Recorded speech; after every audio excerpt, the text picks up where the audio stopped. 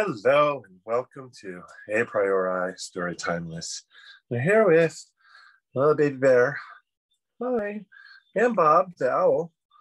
They're going to join us. I don't know if they'll be on camera or not for a very short amount of time, perhaps. This is a story called Wang the Peddler. Once upon a time, a simple man named Wang lived in a village in long ago, early Han times.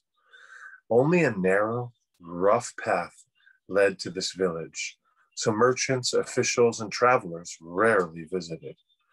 To sell his charcoal, Wang knew he must become the traveler himself and make the journey to the city. Wang shouldered his, shouldered his long carrying pole. At each end, swung wide bamboo baskets stacked high with charcoal. What present would you like me to bring you? He asked his loving wife. A comb, she cried. A beautiful comb like those of the imperial court. The combs they used in the country at that time were made of wood. A comb like that, she cried, pointing to the crescent of the golden moon. After a long trip, Wang arrived safely at the city gates. He sold his charcoal for a good price. Made bold by the string of cash he now carried, he looked around the city for his wife's present.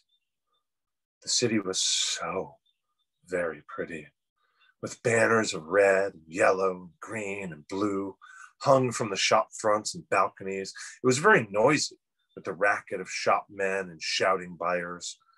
Wang rubbed his chin.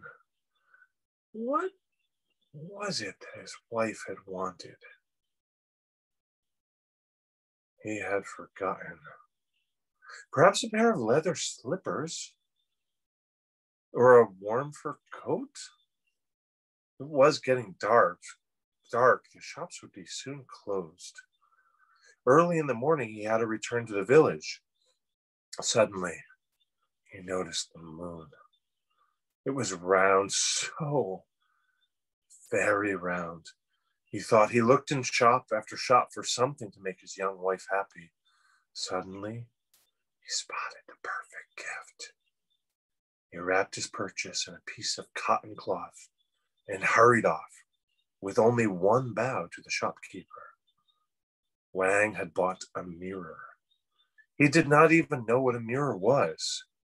He only knew that it was round and as beautiful as the golden moon. What did you think? Little baby bear, is that good? What did you think about that, Owlie? Also pretty good. Thank you. Thank you for joining us.